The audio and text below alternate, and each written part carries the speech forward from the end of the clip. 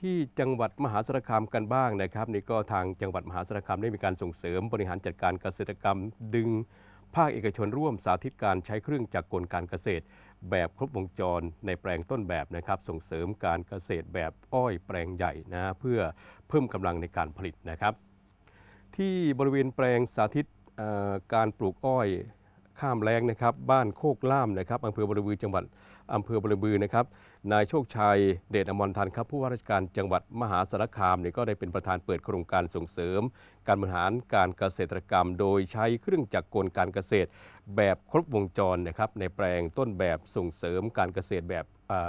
อ้อยแปลงใหญ่นะฮะ โดยมีภาคเอกชนผู้ผลิต และจำหน่ายเครื่องจักรกลการเกษตร และโรงงานน้ำตาลนะครับมาร่วมสาธิตการใช้เครื่องจักรกลการเกษตร ในการดูแลบำรุงรักษาอ้อย เช่นการใช้เครื่อง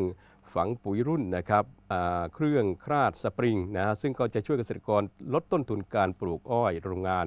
โดยมีเกษตรกรจำนวนมากครับให้ความสนใจเข้ามาชมการสาธิตในครั้งนี้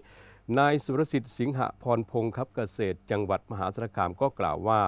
ปัจจุบันเกษตรกรจำนวนมากครับประสบปัญหาต้นทุนการผลิตสูง และจากที่ต่างคนต่างผลิตทำให้ยางอ่าทำให้ยากต่อการจัดการผลผลิตให้มีประสิทธิภาพ